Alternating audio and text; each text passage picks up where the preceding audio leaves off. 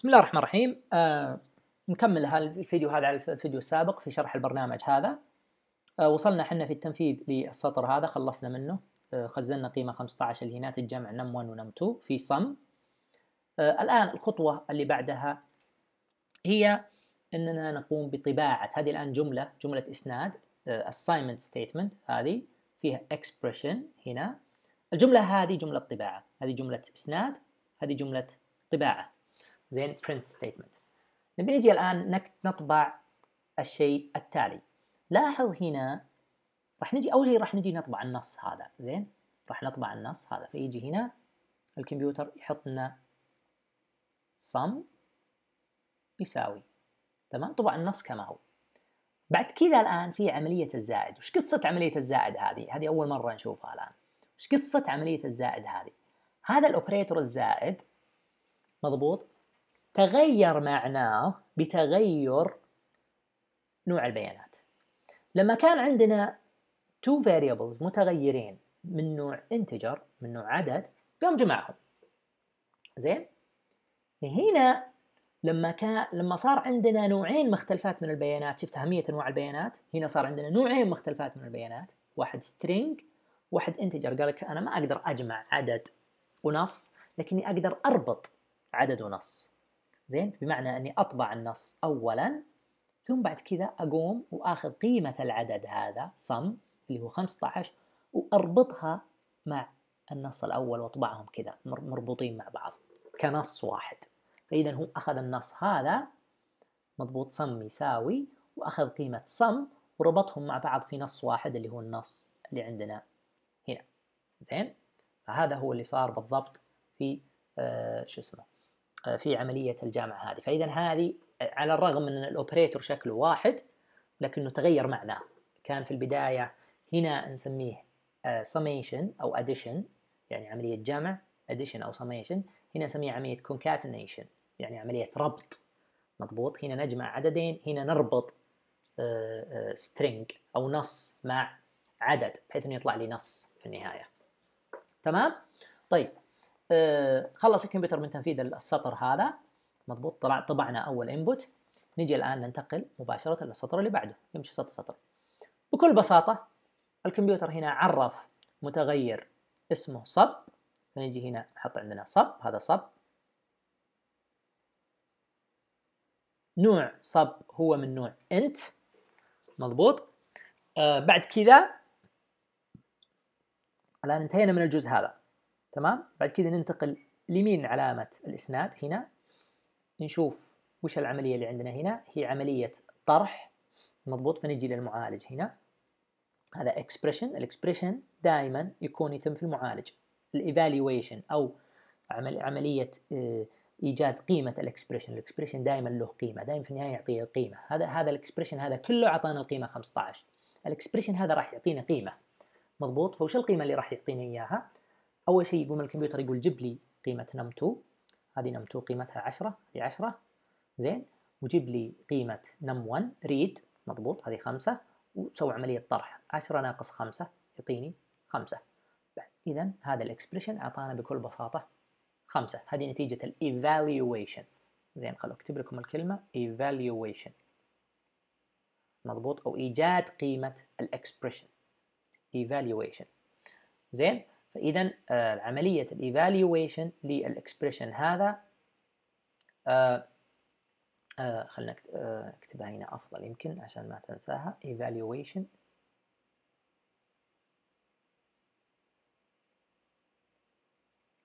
عملية ال evaluation لل expression هذا أعطتنا القيمة خمسة.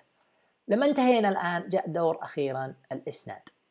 زين لاحظ الإسناد هو آخر شيء نلجأ له. مضبوط أو آخر شيء نقوم ب يقوم الكمبيوتر بتنفيذه. أول شيء عرف ال variable وأعطى القيمة بعد كذا سوى العملية هذه بعد كذا جاء يسند القيمة. فإذا جاء وحط القيمة خمسة في ال variable sub. حطينا هنا خمسة. انتهت العملية انتهينا من السطر هذا. ننتقل الآن للسطر اللي بعده. السطر اللي بعده عبارة عن جملة طباعة statement حقت print. زين أو آه آه طبعا آه لاحظ أن بسبب أن الجملة اللي قبل طبعت سطر جديد ممكن نحط هنا سهم بسيط. زين السهم هذا يعلمنا ان ترانا لازم المرة الجاية لازم نطبع سطر جديد. لما نجي نطبع الكلام اللي هنا نعرف إنه لازم نبدأ سطر جديد لأن اللي قبل هذه طبعت سطر جديد زي ما أنت شايف هنا. تمام؟ طيب نجي هنا على عمليه الطباعه يقول لك اطبع لي صب يساوي فجاء هنا يطبع صب يساوي ثم بعد كذا الآن يربط الكلام هذا بقيمة صب. زين؟ قيمة صب هي لو جينا هنا قيمة صب هي خمسة فيجيب قيمة صب خمسة فيجي يحط لنا هنا خمسة. زين؟ فإذا ربطنا العلامة الزائد هذه مرة ثانية سوتنا عملية concatenation مضبوط؟ أو عملية ربط بين السترينج هذا والعدد آه، صب. وطلع لنا الناتج صب يساوي خمسة. أه نستمر في العمل هنا لعلي أسرع شوي. هنا عرفنا مل وهذا مل. هذا مل. وحطينا فيه قيمة نم1 في نم2 نم1 5 نم2 10 طبعا الإكسبريشن هذا يكون مخلصينه ممسوح. فنضرب 5 في 10 هنا نسوي 5 في آه، في 10 آه، اللي تساوي 50 حاصل الضرب. فنجي هنا نحط 50 هذه عملية الإسناد. خلصنا من تنفيذ السطر آه هذا. ما في أي شيء ما في أي اختلاف عن السطر. السابقة نجي الآن للسطر اللي بعده وهي عملية الطباعة. فنجي طبعا نسينا هنا نحط سهم معليش. المفروض إنك تحط السهم دائما إذا كان في برنتلن فعملية الطباعة هنا راح تكون أطبع mul يساوي وبعد كذا قيمة ال variable mul اللي هي 50 وبما أنها println لا ننسى أن نحط سطر نحط هنا سهم عشان نتذكر إن ترى بنطبع السطر اللي بعده. زين أخيرا نجي لآخر آه شو اسمه آخر آه variable موجود عفوا آخر statement آخر two statements آخر جملتين موجودات عندنا ويقول لك انت dev gets num1 تقسيم num 2 uh, هذا dev نعرف dev هذا dev ونحط فيه قيمة num1 تقسيم num2 طبعا يحسب الكمبيوتر اللي هي 10 آه, آه لا هنا num1 تقسيم num2 آه، هي المفروض نم 2 تقسيم نم 1 هذا كان طلب السؤال. السؤال كان نم 2 تقسيم نم 1 زين هذا هو السؤال. خليني أوريك السؤال. هنا عندنا هذا هو كان السؤال. ويخزن فيه قسمة المتغير نم 2 على نم 1 زين اذا هنا معلش في خطأ بسيط في الجواب. مضبوط؟ فإذا المفروض هنا تكون هنا نم 2 هنا نم 2 تقسيم نم 1 مضبوط؟ بكل بساطة يجي الكمبيوتر هنا يقسم لنا يقول لنا 10 تقسيم 5 10 على 5 فيها 2 زين؟ إذا هنا يجي يخزن لنا 2 وخلاص خلصنا هنا evaluation للإكسبريشن زين؟ فخزن لنا في div قيمة 2 آه، أخيرا آخر عملية عندنا هي عملية الطباعة والناتج راح يكون لنا div يساوي اثنين. زين؟ انتهينا الآن من تنفيذ آه البرنامج. آه فكر في البرنامج هذا. آه شوف البرنامج زين.